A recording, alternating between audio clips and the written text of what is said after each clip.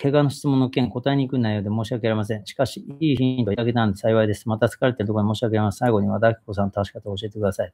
聞いたら出ます。大型生物は本当に遠くから膝に、はい、腰をぶつけ続けるという、はい。それで大体倒せます。はい。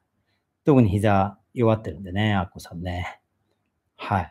まあ、小さめの石だとは本当に効かない可能性あるんで、アッコさんクラスのサイズになってくると、はい。中型の石を、はい、膝にぶつけ続けるっていう、はい。それでパッコさんを倒すしかないなと思いますね。はい。近距離に入ったら本当踏み潰される可能性もあるんでね。プチっていかれる可能性もあるんで、はい。身長がね、もう、はい。あの、お台場のガンダムぐらいあるんでね。アッコさんね。遠近法でみんなと同じぐらいの大きさに映ってますけど、ちょうどガンダムと同じぐらいの身長あるんで、アッコさん、実は会うとね。だから本当踏み潰される可能性あるんで、中型の声してたんです。やめろ、お前。やめろ、お前。やめろ、お前。アッコさん倒させんじゃない恩人なんだ。毎週ご挨拶言ってんだよ、俺は。